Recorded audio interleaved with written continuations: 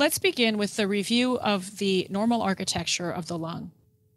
The acinus is the basic unit of air exchange in the lung and is comprised of the terminal bronchiole, and uh, that feeds into the respiratory bronchiole.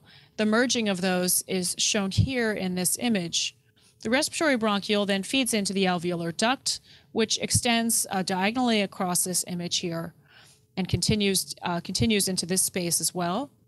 Um, and from the alveolar duct, we have a branching off of the alveolar sacs. The lobule of the lung is comprised of three to five of these acinar structures uh, and in aggregate, which are together incompletely surrounded by connective tissue septa. So the lobule of the lung can be seen here at this scanning image uh, of, uh, of a relatively normal appearing uh, section of lung. Looking at higher power, the lobule can actually be defined here by this red line. Again, it is defined by the presence of this incomplete um, fibrous septation that, be, that begins from the, um, the pleural surface and continues inward.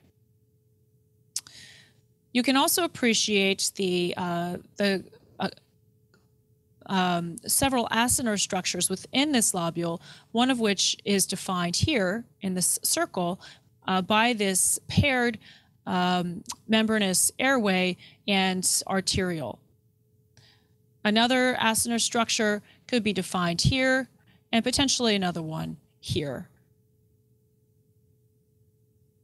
In patients with emphysema, more striking degree of variation may be seen in the uh, airspace size.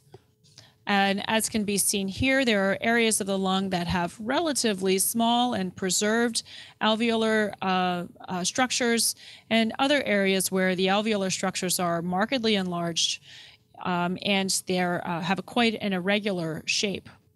You can also appreciate some degree of alveolar septal fibrosis, which is quite typical in this scenario.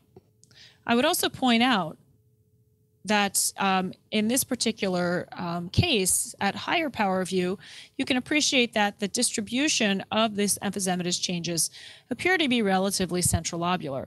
Here is uh, a um, terminal airway. Here's the respiratory bronchiole, Here's a paired art artery. And this is likely uh, where the respiratory bronchiole is then feeding out into the center of this lobule. And you can see the striking degree of um, um, alveolar septal destruction and emphysematous change in this region.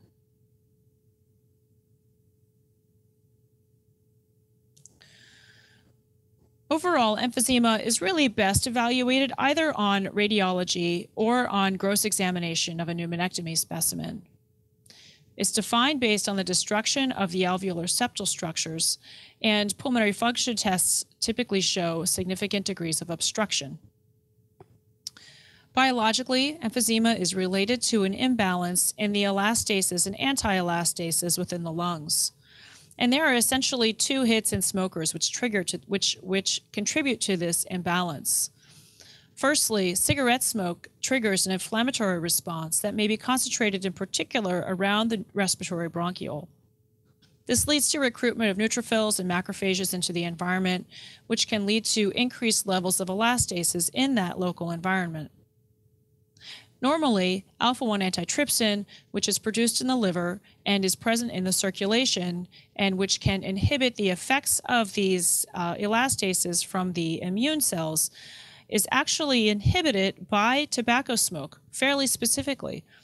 This ultimately leads to a significant imbalance of this elastase activity uh, versus the inhibitory elastase activity led by alpha 1 antitryptase.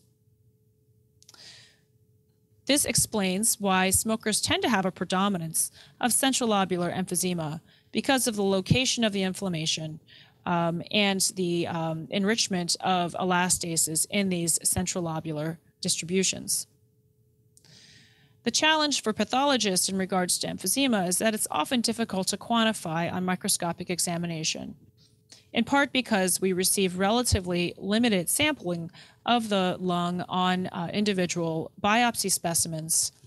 Um, and in addition, em- the emphysematous air spaces may often appear collapsed and difficult to um, uh, characterize on microscopy.